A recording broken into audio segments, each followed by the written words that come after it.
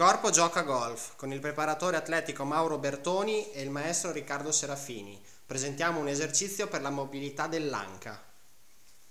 Eccoci qua, il nostro eh, paziente, tra virgolette, disteso su un fianco con le ginocchia piegate. Il primo movimento che proponiamo è quello di sollevare il ginocchio senza spostare il piede dal suo appoggio.